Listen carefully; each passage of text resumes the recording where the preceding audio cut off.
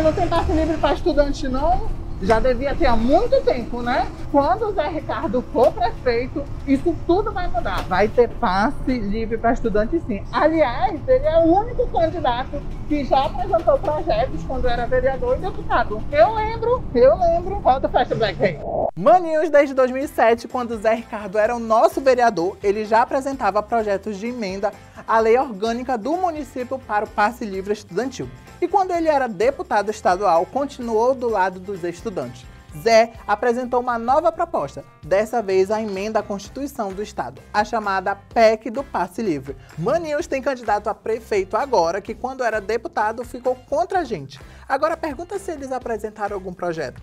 Ai, Maninha, agora todos os candidatos querem ser amigos dos estudantes. Tu acredita, mas o Zé Ricardo foi o único candidato que sempre esteve do nosso lado, do lado dos estudantes. Vamos combinar, né?